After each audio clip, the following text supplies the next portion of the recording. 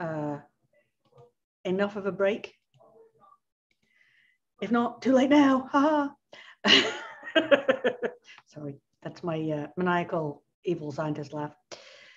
Anyway, uh, this afternoon we're having our second informal education and public outreach session. Uh, and uh, we're going to start with a talk from Laurie Peticolas, who I will introduce in a, a second.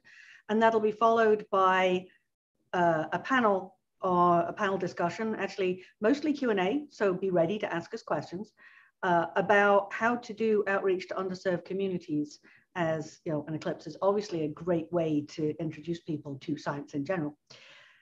Uh, and then there'll be a break and we'll have uh, a, another um, couple of breakouts uh, shortly after that. Okay, so let's start by introducing our plenary speaker for, for this session. Um, so uh, Dr. Laura Peticolas is currently the Associate Director of Education of the Education and Public Outreach Group at Sonoma State University. Uh, for research, she did her PhD studying aurorae uh, and apparently does this on both Earth and Mars, which is awesomely cool. Um, prior to being at Sonoma State, she was a senior fellow at the Space Sciences Lab and was director of their education group known as Multiverse. And the thing that is uh, that she did uh, and is most known for during the 2017 eclipse is that she led the crowdsourcing effort known as the Eclipse Mega Movie. Uh, which, if you don't know, brought together over 50,000 photographs to try and get some more science out of the, uh, out the eclipse. And with that, I'm going to let uh, Laura take it away and tell us about the many facets of eclipse outreach. Okay, thank you so much, Angela. It is a great pleasure to be here today, two years before we get another total solar eclipse and um, a year and some change with the, the other one, which will be wonderful too, but I'm a little partial, not partial, haha, total. Uh, I'm partial to total solar eclipses, but then that doesn't really work, does it? In any case, I'll stop with the silliness. Um, and instead, I will get to talking because I really do want to make sure that we have time to have some rich discussion in our plenary. Um, so I will be talking about the many facets of Eclipse Outreach. I am simply going to um, first thank all the people who have helped me on my journey um, in STEM education, science, technology, engineering, and math um, education. I couldn't have done it without this long list of people, and especially for the Eclipse Mega Movie project that um, Angela mentioned that we undertook in 2017, which was um, a huge undertaking. We took five years to figure it all out. And my main message of this whole talk is to collaborate and partner with people. And I'm we'll say more about this, but I mean people like your children, um, your spouse, families and friends, uh, Sonoma State, uh, the university you're working at. Um, basically, if you're in my life, ultimately, I will invite you to collaborate in STEM outreach. And I hope that you can say the same when you're doing your own STEM outreach, um, or if you want to work with other scientists. so just, I couldn't do any of this work without all the amazing people that I get, get to work with. So here's some of my main messages. I'll give you very concrete examples of um, how I've done some of this myself. And uh, I'm going to push you all to venture respectfully and cautiously outside your comfort zone. So we have an amazing opportunity again and again um, to engage the public in this really phenomenal experience of a total solar eclipse. Um, and it's also a great time for us to grow as grow in our um, professional and personal lives. So that's what I'm asking you to do. And I'm asking you to do that um, by thinking about who you might want to partner with um, for these eclipses. So consider family and friends or colleagues who work outside the astronomy and physics um, arenas. So if you are in the astronomy and physics areas, then look outside of those, um, look outside of that network that you have. Uh, if you are in another field, uh, if you're a teacher or you're a um, really a, a, manager of, of events, um, then you probably you also should be thinking about outside you know who who can you connect with outside of of the people here today? Um, what connections do your friends have within their communities? Uh, who are your colleagues in different fields than you're in? Um, do you have trip like i go to trivia on thursdays with an english professor uh, two english professors and um, uh, a colleague of mine who works in a different program here at Sonoma State, and we've started talking about various things, cross disciplinary ideas um, for our outreach. Uh, STEM outreach. So that's just an example of what I mean there. Consider locations or communities who may be left out. So through this whole la the last two days of this workshop, you'll you have heard and will continue to hear about communities that people are reaching out to and working with. Um, I urge you to think about who haven't you heard of yet? Where aren't we going to be? Um, and try to reach those areas as well. And ask yourself who in your network could help you connect to these communities. So one way you can find um, great partners is uh, by NSF funded uh, groups. So NSF has uh, tons of educational um, and outreach, education and outreach efforts that they fund. It's under the Directorate for Education and Human Resources. And you can go to this, the NSF, um, either a simple search um, uh, for awards or they have an advanced uh, search where you can look up awards. You can put it, so I put in the, um, I put in a keyword eclipse and I came up with all of these different projects, 43 that um, NSF has funded. Some are science projects. So if you're looking for a scientist, that's uh, one way to find one. Um, if you're looking for educators who've already done this type of work, then this is one way to find them. Uh, likewise, um, oh, so here's an example for the Eclipse mega movie. Uh, the Crowd in the Cloud was a citizen science, big data, and democratization of science research project. Um, and it it involved creating um, videos, movies, really, little documentaries. And so one of their uh, documentaries was about our project, uh, the Eclipse project.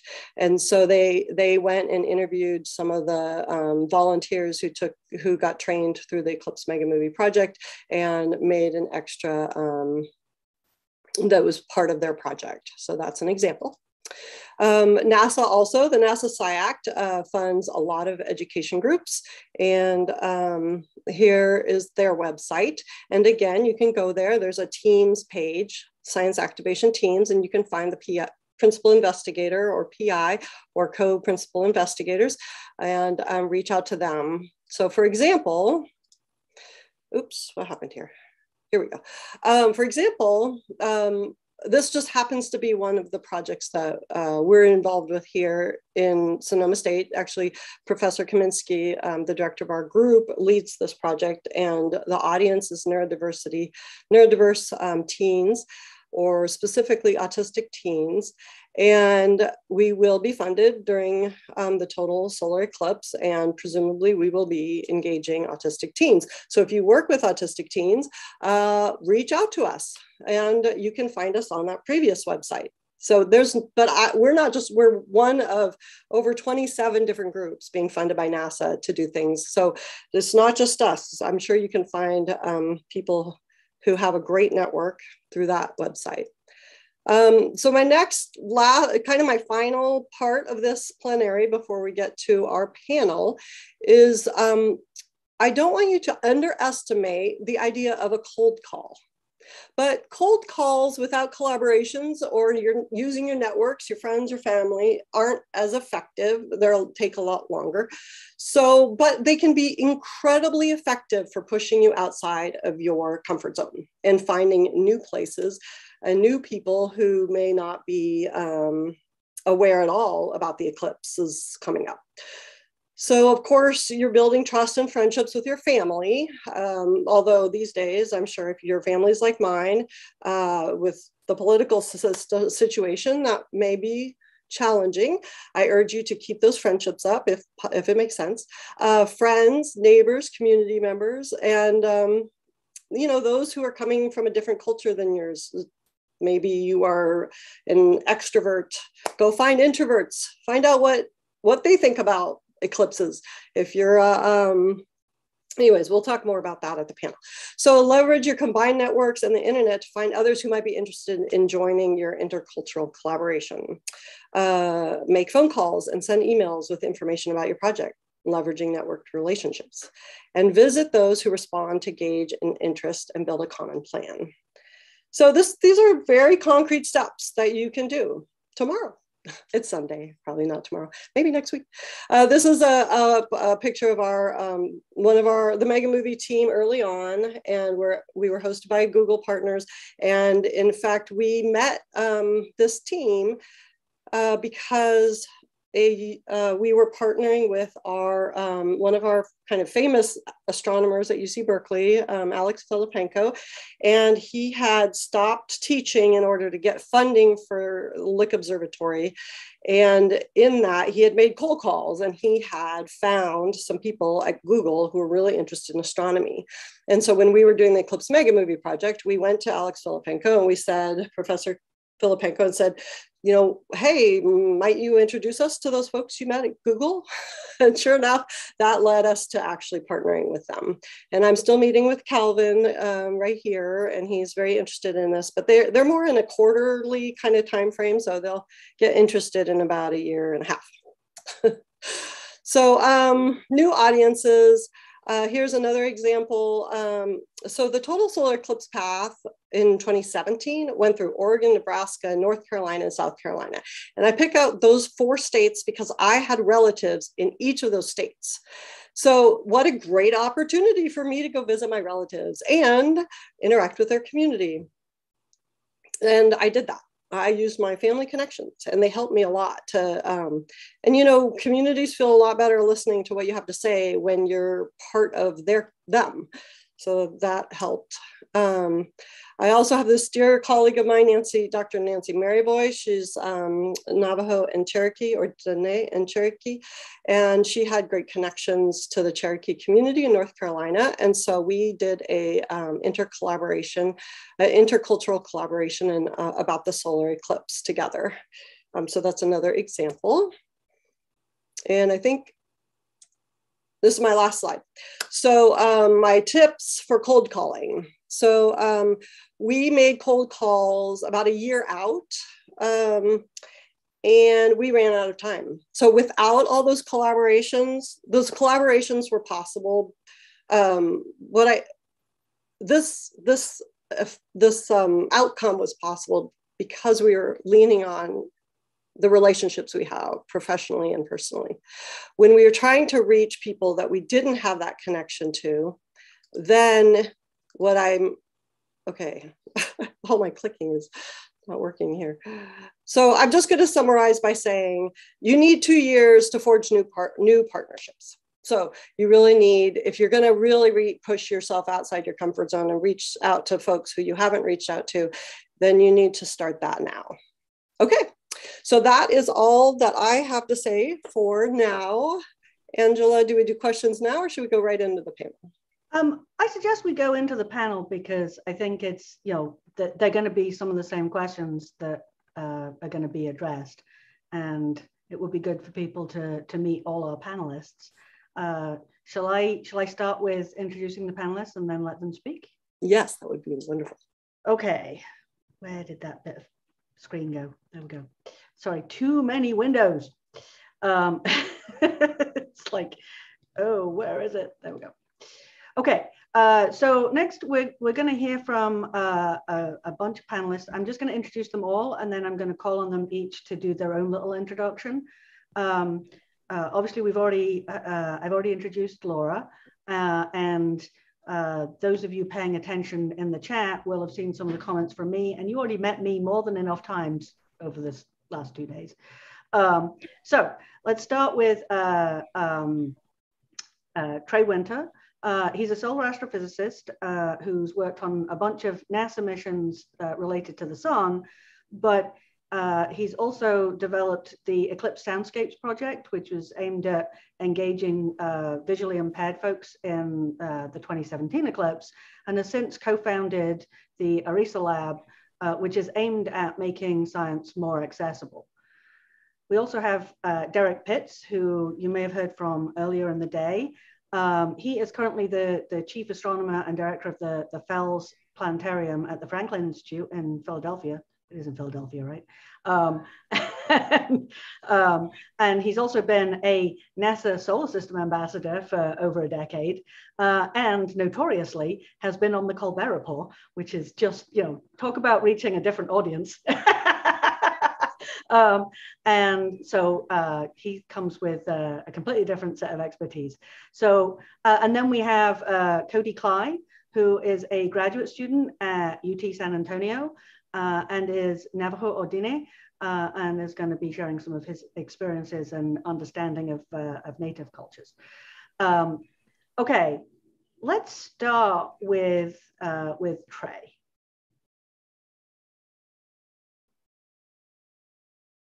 No, we're going to start with um, with Derrick. Sorry. Oh, are we? Okay. I'll, I'll, let you lead then. yeah. So Der Derrick's up first. Thank you. Thanks, everybody. Uh, good afternoon. Thanks for having me again this afternoon. Uh, let me just share my screen here because I have a couple of slides. Uh, I, am going to try to do my best to save time because a lot of um, what Laura mentioned it happens to touch on a lot of the same sorts of things that I would have mentioned also uh, in this idea about connections. Uh, let me see. There we go.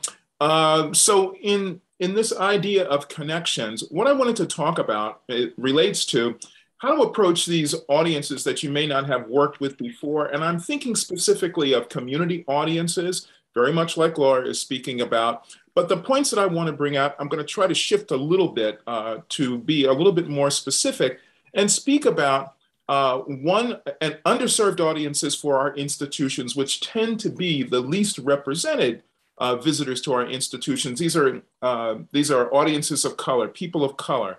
And in the experiences that I've had working with these public, with these community audiences, here are some of the points that I've found have been really useful for me to make connections with these audiences.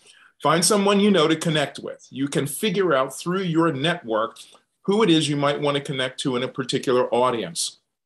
You have some connections somehow. You just have to figure out who you might be able to tap that can help you make a connection. As Laura said, start building your connections early.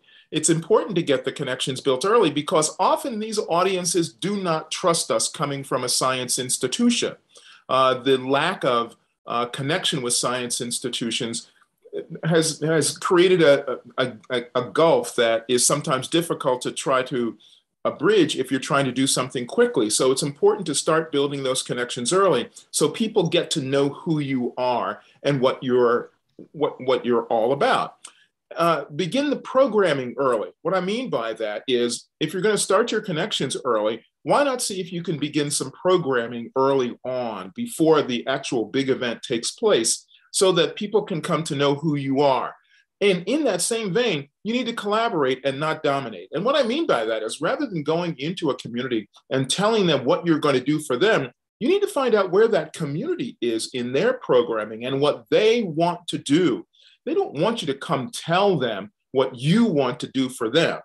What they want is they want a partner and they want somebody that respects and understands what their goals and objectives are. So you want to coordinate their program often you want to coordinate program offerings with their objectives. That way it feels like a partnership. Now, I've had particular success with faith based organization youth programs. And, you know, interestingly, I'm not a church guy particularly, but I realized that there was an audience of youth programs that wasn't getting any connection because they happened to be part of the faith based organizations. So the connection I found happened to be the Office of Faith Based Initiatives for the city of Philadelphia.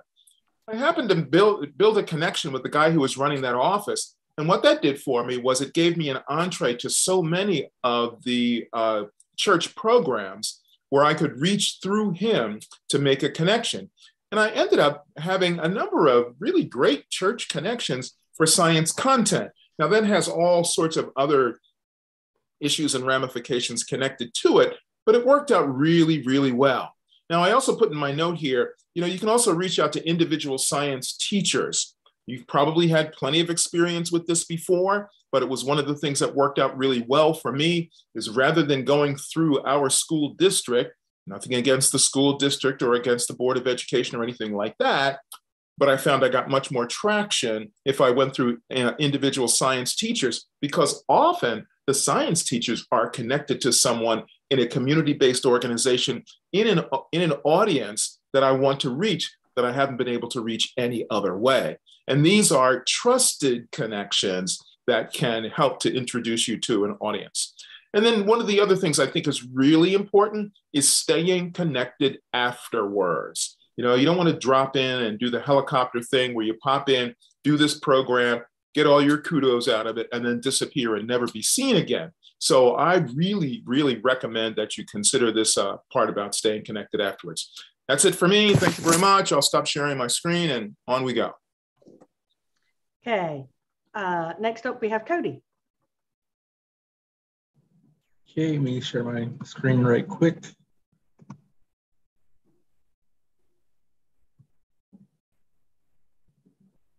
So, yat e she e kuri klaien shed zis ani den schnau to ket lini bashes team but ani dash che but ani dash nalikot ego den inishle. Um, what I just said was my introduction to Navajo. Um, every time we meet new people, we introduce ourselves to them, tell them who we are. Uh, so what I said basically was, hello, my name is Cody Cly. I'm of the Mountain Cove clan, born for the Water Flows Together clan. My maternal grandparents are within their Covers clan, and my paternal grandparents are within their Cover clan. Um, this is what makes me Dene or Navajo. Um, I'm currently a student at University of Texas at San Antonio. There's my email if you have any other questions. Uh, so what I'm going to be talking about is just the Dene perspective of viewing solar eclipses and what it means to us. So in Navajo, what a solar eclipse is called is or Asne Iaj. So the first one means the death of the sun, and the second one means just it's in between us. So it's just describing the moon and what it's doing between the earth and the sun. Um, eclipses, it, eclipses to the Navajo or Dene people, basically it's the death and rebirth of the sun. Uh, to us, the sun is known as Johana, um, or the one who watches over us during daylight. Um, so things we do during eclipses, so time to reflect, plan, spend time with or family. I just said um, with which is family. Um, oftentimes we'll we'll pray just to let the sun know we're still here.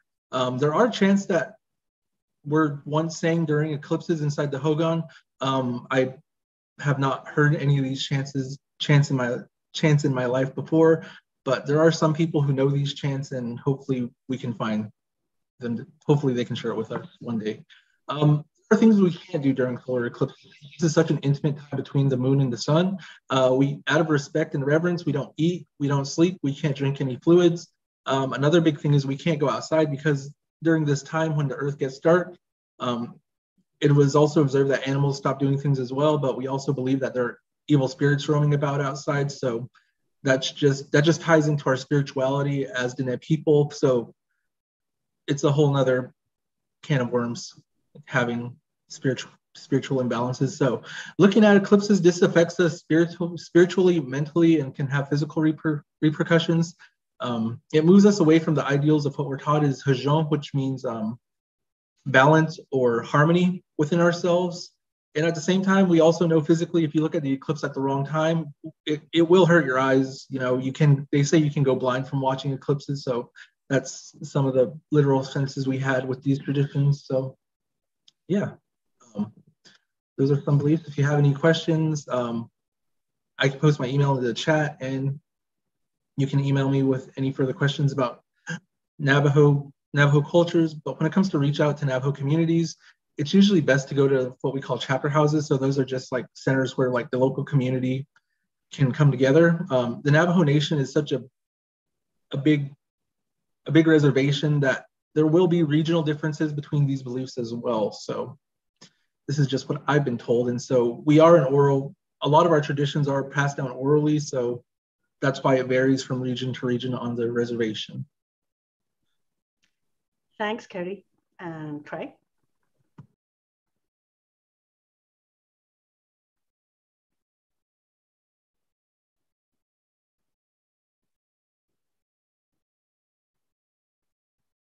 Hello, everybody. Uh, so I am Trae Winter, and as mentioned before, uh, I am a co-founder along with Mary Kay Severino of the ARISA Lab, and we have uh, several different uh, Eclipse uh, projects going on uh, for both the 2023 and the annular Eclipse 2024 Eclipse. And I put a bunch of links in here where you can follow those projects.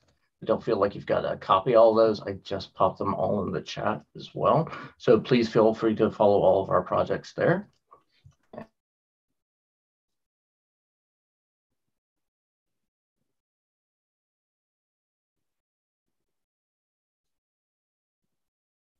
Everything works great when you practice it, but it doesn't work in real life. Anyway, so um, what ARISA stands for is the Advanced Research and Inclusion and STEAM Accessibility Lab. Uh, I'm a former astrophysicist with the Smithsonian Astrophysical Observatory. And when I was there, uh, I worked on a bunch of uh, public facing projects, but I noticed that most of them weren't very accessible to a lot of people, including people who are blind and low vision. And in 2017, uh, offered us a great uh, chance to engage uh, with a lot of people with the eclipse. And NASA had a mission of engaging underrepresented groups, traditionally underrepresented groups with the eclipse. And I made the case that there is no uh, greater unrepresented groups than people who are blind and low vision, and was able to make uh, a mobile application called the Eclipse Soundscapes app uh, in order to make a universally designed a learning project so that everybody could use it to engage with the eclipse. And so one of the things that people think is that this is something for people who are blind and low vision. It's like, no, this is something that's for everybody. But we started the design process with people who are blind, low vision, so that we can make something that was um, useful for them and starting with that population and working with that population so that we made something with them and not for them meant that everybody could use this together and enjoy an eclipse together. And so those are the that's the real message is you know very much making with not for thinking about which groups might have the hardest time accessing your information and starting with those groups first and instead of making that something that you try to tack on to the end because that hardly ever works um, and this is these are some images uh, from one, the top one's me using what's called the Rumble map. Uh, that was our way to sonify Eclipse images. So you can trace your finger across images of uh, different uh, Eclipse features. And you actually feel this rumble from your uh, speakers making these specially designed tones so that you can actually hear uh, what's going on underneath your finger and build up your own mental map of what these features look like. And we found that this is not just useful for people who are blind, low vision, have no other, no other way of accessing what that might be like, but it's also another way to engage a lot of different learners and everybody loves playing with it. Uh, part of the universal design is that we had multimodal instruction of every part. All of these eclipses are both described in text and verbally using what's called descriptive um, illustrative description of images, which is a technique that was developed by the National Center of Accessible Media, one of our partners, actually uses language that I helped craft as a scientist, but then they refined so that it, those uh, words had meaning to people who had maybe never seen, uh, had been able to see before in their entire life. And we are very proud of this. We had uh, 55,000 uh, users on the day of the 2017 Eclipse of the app. And then we've had another 76, oh, we've had now a total of 76,000 downloads and uses of the app uh, since then. And we think that we have post Eclipse use of the app because it's really the only thing, the only app out there that's really for people who are blind and low vision to uh, gain access to astronomy. NASA HEAT gave us some funding to update the app. So it's now in review. Uh, we've added annular eclipse information and uh, we have our uh, eclipse uh, center page uh, on this image as well, where it actually counts down to the next eclipse and it's counting down uh, to the annular eclipse. And you'll notice that it's in Spanish. Uh, one of the things that we added for the 2023 and 2024 eclipse is bilingual functionality. Okay, So for 2023 and 2024, we want to do something different. For 2017, we made something that actually described an eclipse and was very much designed to uh, so that people with blind low vision can have two-way conversations about the eclipse, not just having people tell them what the eclipse was. Uh, but now we want to take that one step further. And we want to make an experience that everybody can participate on equal footing to actually do science based around the eclipse and experience the eclipse in different ways. And there's a 1935 paper by a guy named Wheeler uh, that uh, tried to describe how animals changed uh, their behaviors during eclipse and just had people write down. And so now we're using citizen science in this new uh, field of study called soundscapes ecology to order to record how animals change their behavior during an eclipse using uh, the sounds that they make in their soundscape. So we have citizen scientists that are going to be actually recording the data and actually, you know, determine where they're going to put their recording devices, what animal uh, sounds uh, they might hear, or even human sounds and human reactions to the eclipse. Make a scientific investigation of that. And to do that, we're using uh, inexpensive recorders called AudioMoths, but we're adapting them so that they're accessible for people who are blind, low vision. I could talk more about that. But we're also uh, doing data analysis as well. And so what we're working on this year is actually refining our data analysis tools so that anybody would actually be engaged with listening to this data and determining what's changing and whether they're sighted, blind, or even deaf. So that's the Eclipse Soundscapes project.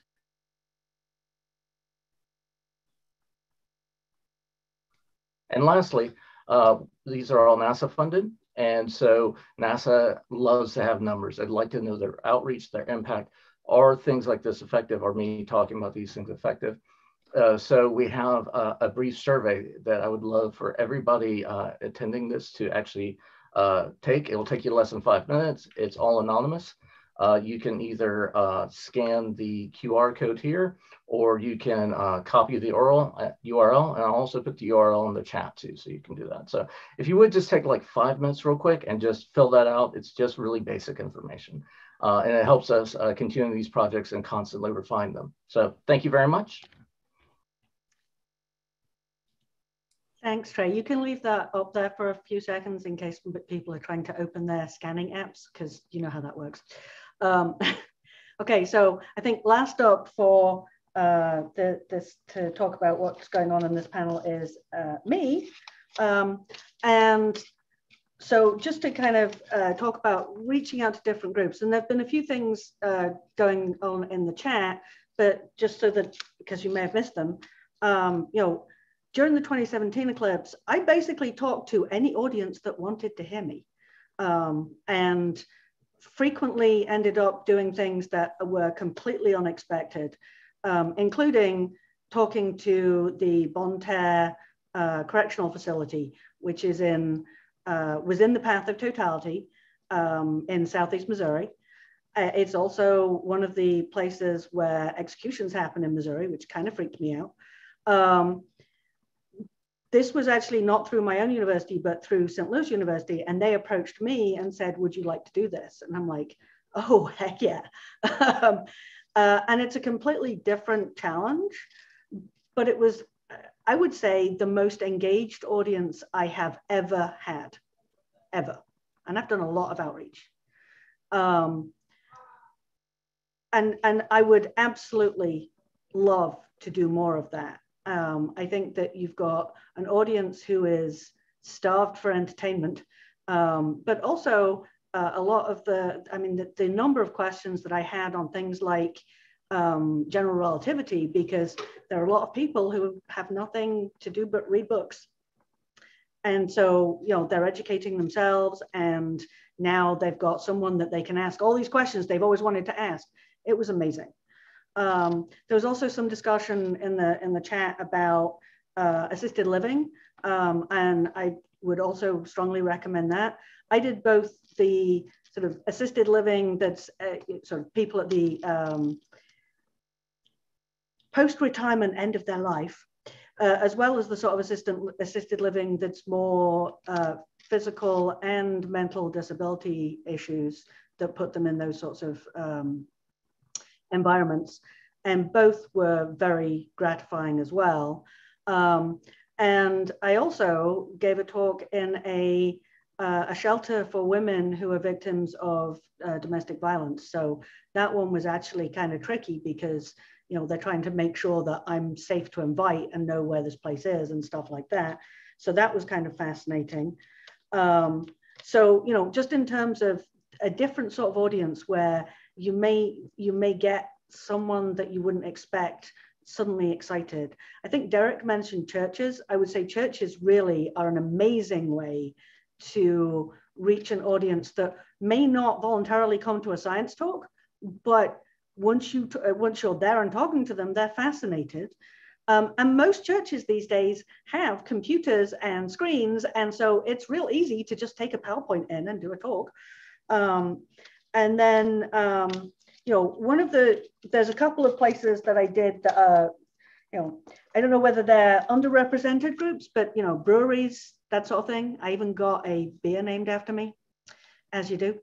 Um, and, uh, and then the one that um, we're actually going to be doing uh, here in San Antonio, but I tried to figure out how to do this in Missouri and, and didn't manage to do it. And that was uh, reaching out through, uh, through the military. So uh, in, in Missouri, there was a, an annual air show that was always on Memorial Day, and there were always a lot of military folks there was a lot of recruitment done through those things. Um, but the person who ran it was absolutely adamant that unless we were part of the military, we couldn't be part of that program. However, I'm now in San Antonio, and for those of you that don't know San Antonio, it is very, very military oriented. Um, and we actually have a lot of uh, military and ex-military students at, at UTSA, um, but we have Joint Base San Antonio, and they have an air show in two weeks, and we will have people doing outreach at that event, not necessarily about the eclipse yet, um, although we will have some material there. So that's another space where, especially an air show that's militarily oriented, you're reaching out to people who wouldn't necessarily, uh, again, go to a science event. They wouldn't necessarily go to a museum, but they want to see the planes at the air show. And so you have access to an audience that you wouldn't ordinarily um, get to you know interact with and so you get these nice accidental things the, the last thing I'll mention, and this is more on the networking front, so picking up on what both Laura and, and Derrick were talking about, is giving talks to American service clubs. So think Rotary, Kiwanis, all of those sorts of uh, clubs. In fact, the Lions do a lot with uh, people with um, vision issues. There's, you know, they all have their own uh, areas that they're interested in. Kiwanis does a lot uh, with K through 12. So in doing talks to those groups, you build up those networks and can end up with connections that you never expected. Um, and so that's more of a, it's usually a fairly broad base of participants who have fingers into pies that you would never have thought.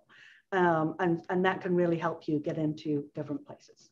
And I'll stop talking and let's see if we have any direct questions. And if not, I will uh, synthesize some from the comments in the chat.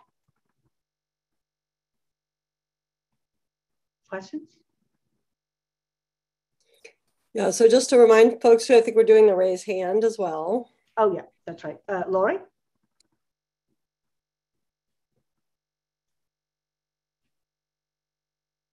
You're still muted.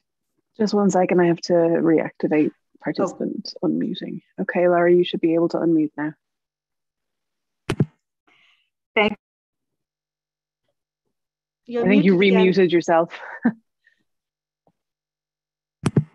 okay, let's try this. um, hi from Victoria, BC in Canada. Thank you very much for um, for uh, having this. It's been uh, really terrific. I would like to ask Cody um, if there is um, uh, anything being done, if, if he knows uh, through the Native Sky Watchers and Annette Lee, whether or not any programs are going to be done through in the next couple of years um, for uh, for some of the populations up in um, up in that area. I don't have any knowledge at the moment. I can reach out and ask. Um, yeah. Okay. Thank you. Mm-hmm. Adele?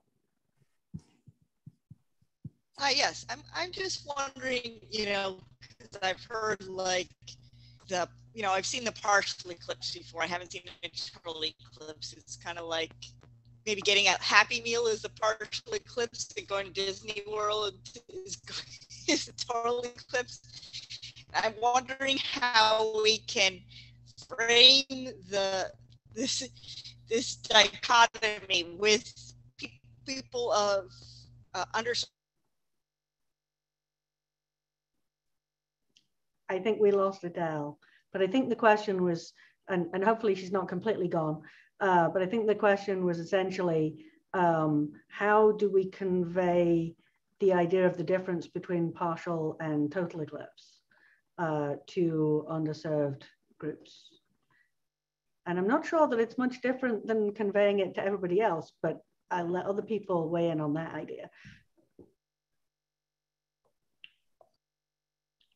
Um, I'll just say that um, part of the reason we were doing the Eclipse Mega Movie was to get people to go under the under totality because of this challenge of communicating how important it is. Um, but of course, that's not always the best approach. I just want to emphasize it's. It, I had lots of people say, I don't want to spend that hour to get to totality. When they lived in like Eugene, Oregon, all they had to do was drive the teenagers they were overseeing 20 minutes. Um, so I think we just have to, I, I just want to say it's a real challenge. May I offer a suggestion? I, I tell people that uh, a partial eclipse is listening to a song you like on your phone.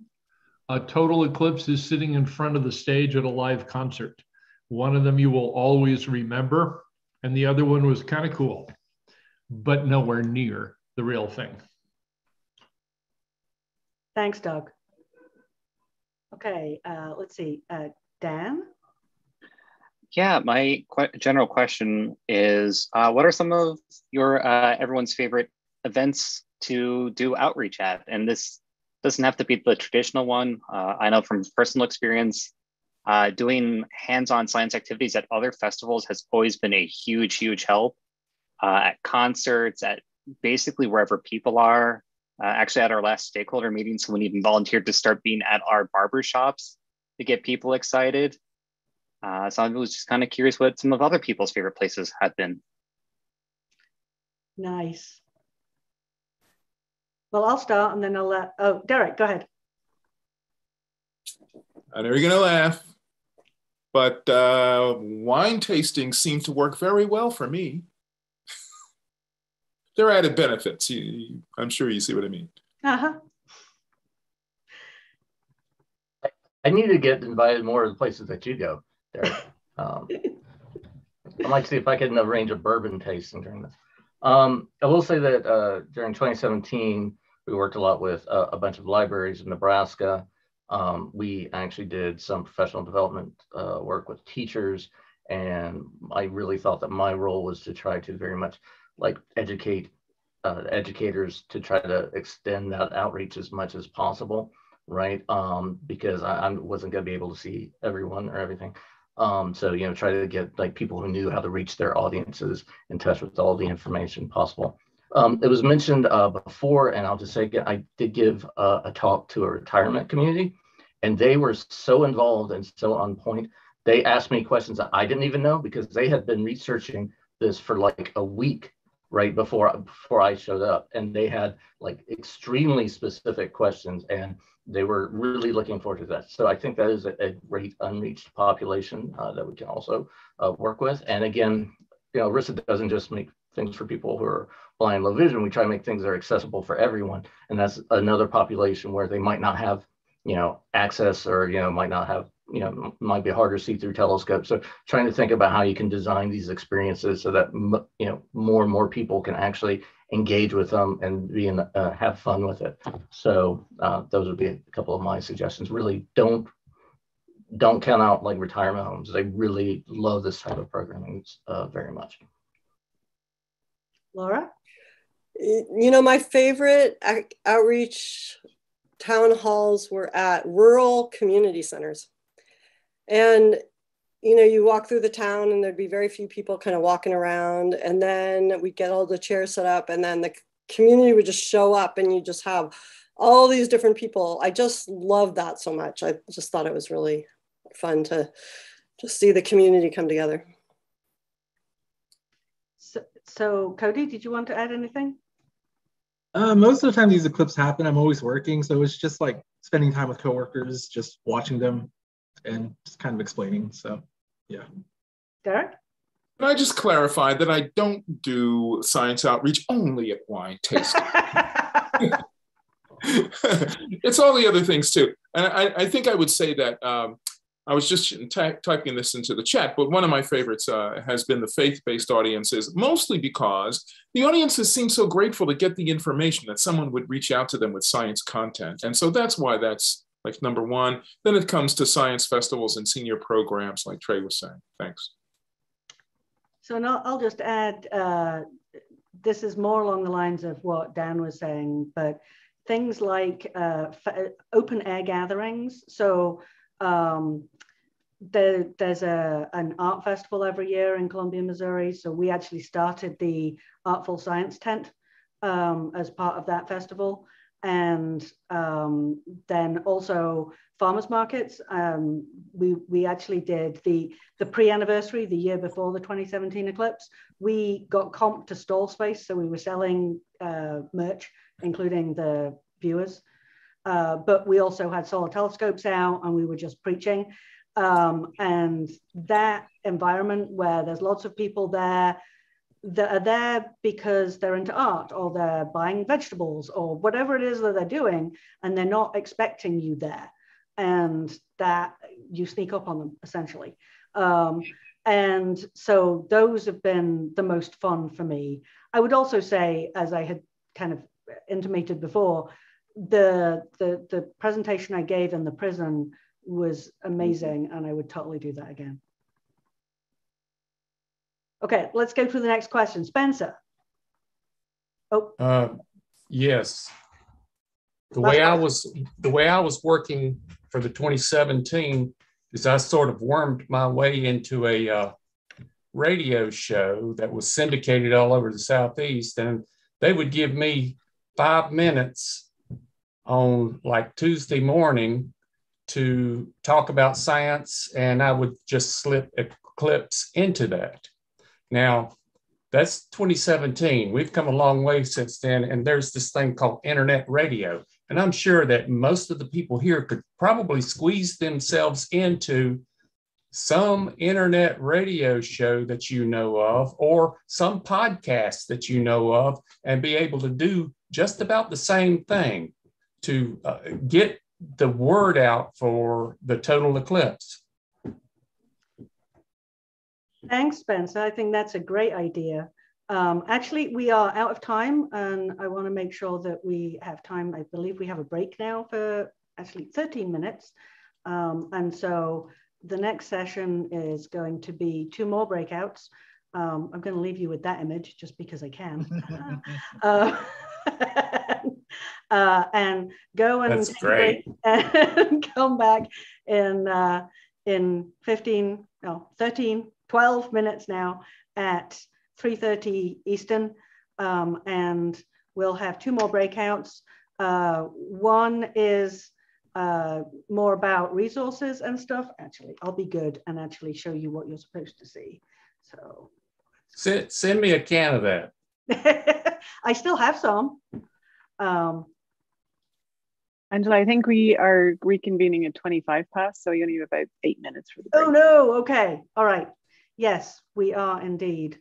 Um, so the two breakouts are essential resources for education. So that's going to be a bunch of NASA stuff. Plus, you've already heard from Michael Zeiler, Fred Espenak, and, and Dan McGlaun you have not heard from yet.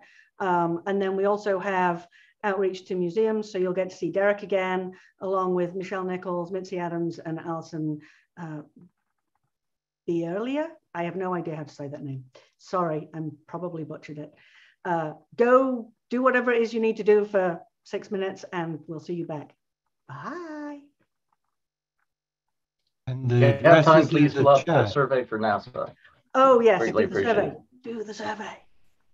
And Thank just you. so everyone knows, you need to go to a different URL for the breakout rooms than you do for these plenaries. And Claire has put them Claire. into the chat. So they are in the chat right now. It's the breakout one and breakout two. Oh, and Laura put them in the chat too. Woohoo.